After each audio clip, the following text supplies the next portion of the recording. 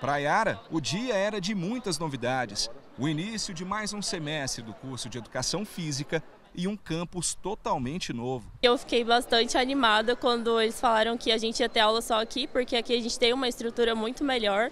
Os cursos de Educação Física e Fisioterapia da Universidade Estadual de Goiás, mantidos pela Exefego, agora vão ser ministrados no Centro de Excelência do Esporte, no centro de Goiânia.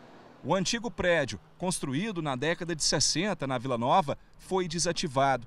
Segundo a administração da UEG, a unidade estava defasada e com vários problemas estruturais. A nova sede resolveria esses problemas.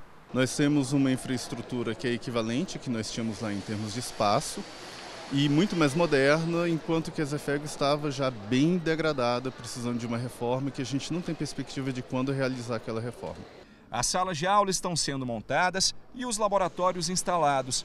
Até o final de agosto, toda a estrutura deve ser transferida para o novo espaço. Os alunos vão ter acesso a todas as estruturas do complexo esportivo, principalmente o Estádio Olímpico, que tem pista de corrida, campo de futebol com dimensões oficiais. A questão é que a partir de agora, alunos e atletas vão ter que aprender a conviver.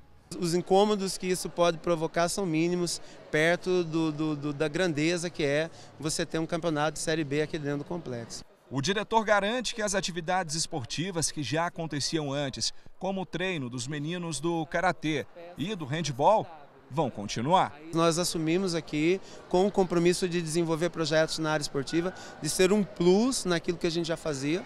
Outra novidade é que a Exefego muda de nome.